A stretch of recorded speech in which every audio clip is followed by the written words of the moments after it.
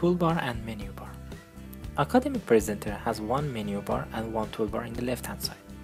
The toolbar is extension of insert menu in the menu bar, so it's easier to begin with menu bar. Menu bar consists of File, Edit, Insert, Run and Help menus. The File menu manages your project, imports data from other projects, and exports your presentation project to famous and useful formats. File menu will also help you to upload your presentation project to online services of Academic Presenter to be presentable in other devices as well. Edit menu interacts with objects in the Canvas. You can clone selected objects, copy their properties to the memory, or even insert the objects from clipboard to the canvas. Also, grouping selected objects can be done from this menu. Insert menu is responsible to create new objects inside your canvas. The supported objects are basic shapes such as rectangle, ellipse, line, text, advanced objects such as Bezier, image, video, sound, PDF, handwriting, and even LaTeX code. In section 3 and 4, we will talk about them in details. From the Run menu, you can start your presentation in different modes and from the different slides. Also, you can configure the wireless presenter from here. Finally, from Help menu, you can get access to online resources such as templates and tutorial videos. From Help menu, you can also upgrade Academic Presenter. Now, what are different tools in toolbar that you cannot find in menu bar? In the toolbar, you have some tools to select objects by picking or by selecting from a region, to move and resize objects, and canvas, and finally anchor selector to select and modify control points of a Bezier. We will get into each of these tools through a sample.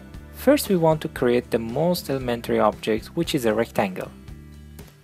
To do so, select Filled Rectangle from the toolbar or menu bar.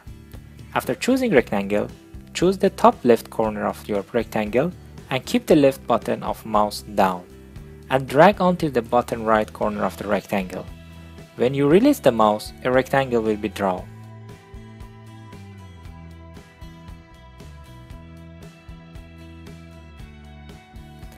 Now we will check the application of each tool on the canvas and selected object. First we start from Object Selector. Object Selector helps to select an object and reach to the properties of selected object in tab bar. Let's select the rectangle by using Object Selector. As you can see, basic properties of rectangles such as position, size, color, text, and etc. are in the tab bar. You can modify these properties and see the effect. However, for changing position, size, rotation, there is an easier way. Free Transform is a tool that change these properties visually without modifying the values directly from tab bar. To change the position, drag the selected object with Free Transform to the desirable location and drop the object there. Also, you can change the size of the object without changing the location by keeping the shift key pressed and drag on the object. The size will expand and shrink from both sides based on distance. Finally, free transform can rotate your objects. To change the angle, keep the control key pressed and drag the object. You will see rotation arrow with rotation angle written next to it. When the rotation is fine, leave the control key and the angle will be fixed. In the status bar you can see the status of the shift and control keys. Let's draw some other elements on canvas. To select a group of elements, you can choose object selector and keep the control key down.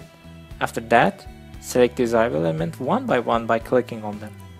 You can exclude an element from selected object by clicking on it when it is selected.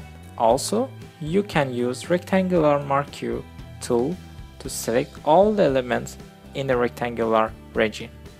Finally, we are drawing a triangle with a Bezier shape to show the applicability of anchor selector. After choosing all control points, keep the control key down and click on canvas to close the shape. Now, choose that shape with object selector. Finally, select Anchor Selector to see all the control points. Now you can move control points to make desirable shapes with the smooth and carry.